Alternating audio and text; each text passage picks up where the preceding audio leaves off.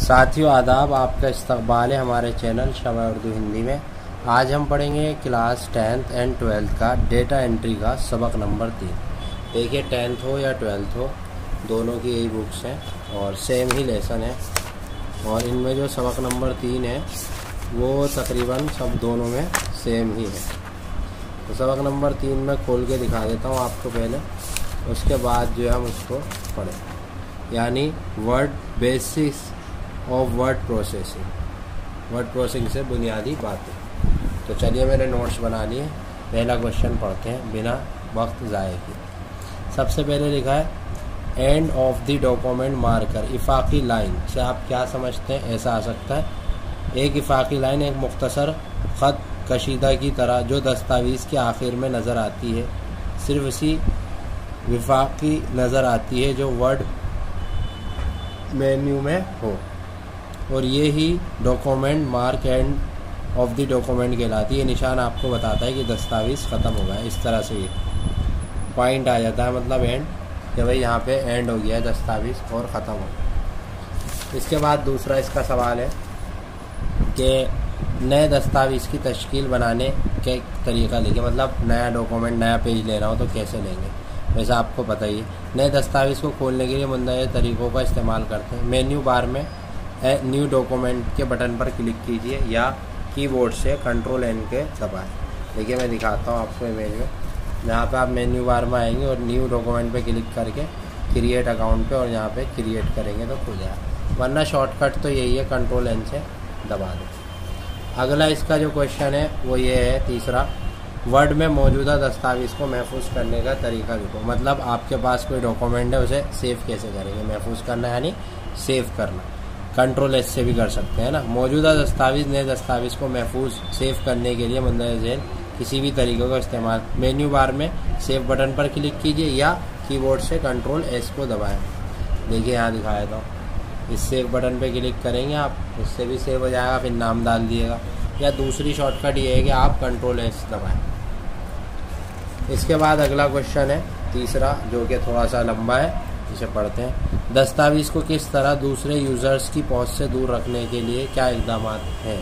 मतलब कैसे आप दूसरे से सेव कर सकते हैं तो पासवर्ड लगा सकते हैं। वर्ड 2007 में दस्तावेज़ को खोलने या वर्ड पासवर्ड सेट करने का तरीका। यहाँ पे लिखा है माइक्रो सॉफ्टवेयर के दस्तावेज़ खोलें। माइक्रोसॉफ्ट ऑफ़िस पर क्लिक करें। सेव एज पर क्लिक करें। सेव एज पे जब आप क्लिक करेंगे ट्वीज बटन पर क्लिक करें और जर्नल स्ट्रक्चर पर क्लिक करें। खोलने के लिए पासवर्ड बॉक्स पर मतलूबा पासवर्ड दर्ज करें और ओके पर क्लिक करें। खोलने के लिए पासवर्ड दर्ज करना होगा ओके पर क्लिक करना होगा। सेव महफूज करें और बटन पर क्लिक करें। तो भाई बहुत आसान है, यहाँ पे क्लिक करेंगे फिर यहाँ पे और फिर यहाँ पे पासवर्ड डाल देंगे। इस तरह आपका सेव हो जाए इसके बाद जो है पांचवा क्वेश्चन है। इसके बाद एक मेन्यू क्या है? मेन्यू ऑपरेशंस एक मजमू है जो कंप्यूटर्स एप्लीकेशन को सारिफ को पेश किया जाता है, ताकि सारिफ यूज़र्स को मालूम को तलाश करने या प्रोग्राम को फ़ंक्शन को अंजाम देने में मदद कर सकता है। जैसे मेन्यू होता है, बिल्कुल वैसे जिसमें सब चीज़ें होती हैं। अगर वर्ड के गुज्त वर्जन में वाकिफ़ हैं तो आप वर्ड 2007 के मेन्यू की बनावट में ज़्यादा फ़र्क पाएँगे। वर्ड दो हज़ार सात के फीचर के तहत मुख्तलिफ़ टैब्स फराम किए गए मसला होम इंसर्ट पेज लेआउट ये सब चीज़ होती हैं। देखिए, यहाँ पे मैं आपको दिखा देता हूँ। ये होती है ना सारी चीज़ें। टूल बार्स ये सारी चीज़ें इसके अंदर होती हैं। फ़ाइल एडिट इंसर्ट फॉर्मेट ये सब चीज़ें मेन्यू कहलाती हैं। आप जैसे होटल का मेन्यू होता है, उसमें क्या क्या होता है, ऐसे इसका भी मेन्यू होता है। अब इसका लास्ट शॉर्टकट कीज़ है। कुछ ज़रूरी शॉर्टकट कीज़, जैसे फ़ाइल ओपन करने के लिए।